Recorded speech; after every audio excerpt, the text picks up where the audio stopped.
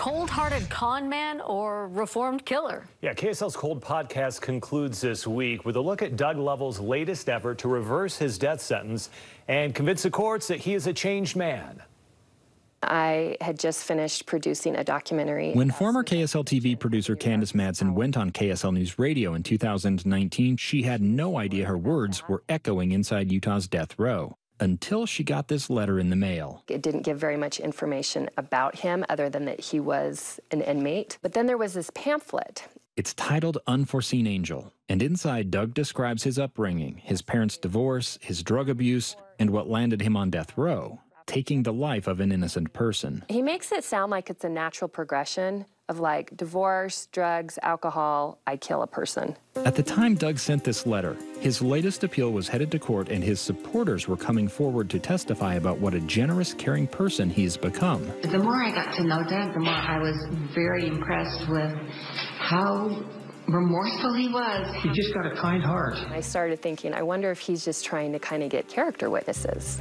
Doug's letter caught our attention, but not for the reasons he might have intended. We realized Doug used the word I 30 times in that pamphlet. The name Joyce Yost, the woman he had murdered, did not appear once. It's a pattern with him that he doesn't want to disrespect the family or disrespect Joyce's memory. You're disrespecting Joyce by not saying her name, by not remembering her. He's managed to make the story all about him for more than 35 years. I think Doug Lovell likes the limelight. This horrible perpetrator becomes the story, and that's difficult because she was so awesome, and he took all that away.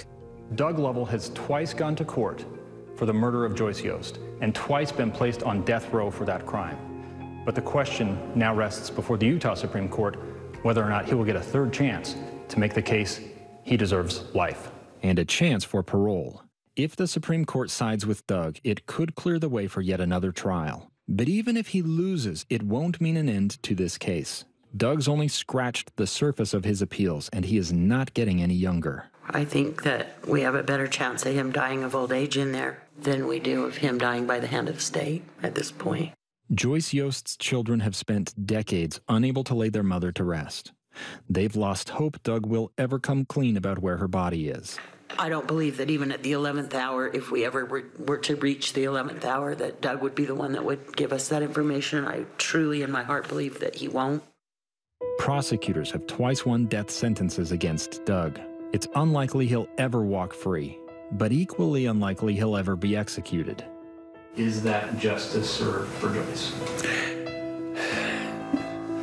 There is no justice for Joyce. Let's just preface it by saying that. When you kill somebody, you kill somebody. There's no such thing. Uh, it's justice for what he did to Joyce. But there is no, you know, justice for Joyce. Joyce is dead, and uh, nothing can ever change that. Steve Cawley reporting there. The final episode, an entire season of Cold Justice for Joyce, is available right now. You can listen on Amazon Music.